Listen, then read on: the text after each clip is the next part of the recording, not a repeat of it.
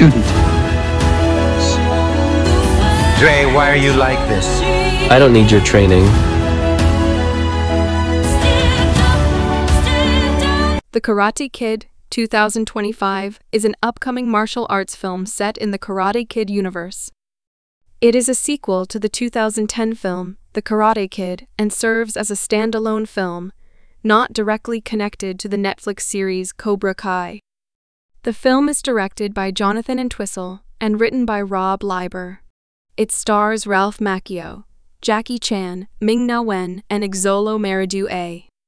Plot The film follows Dre Parker, Jaden Smith, now a young adult, as he travels to China with his mother, Ming Na Wen, to visit his old mentor, Mr. Han, Jackie Chan.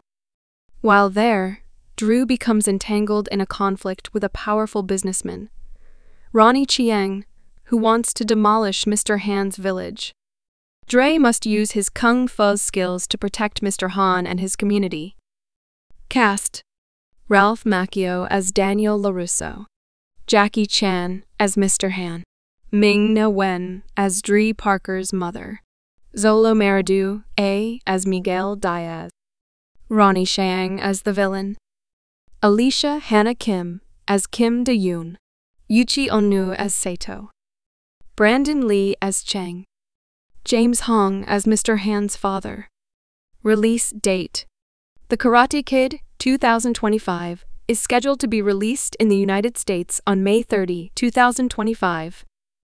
Trailer A teaser trailer for the film was released on July 12, 2024. The full trailer is expected to be released closer to the film's release date.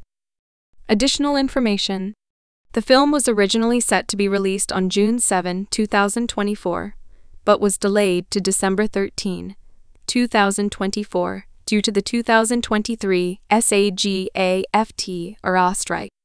It was moved once more to May 30, 2025, so that it wouldn't conflict with the final season of Cobra Kai. The film is produced by Jerry Bruckheimer, Doe Dalton, and Hayden Schlossberg. The film is distributed by Sony Pictures Entertainment.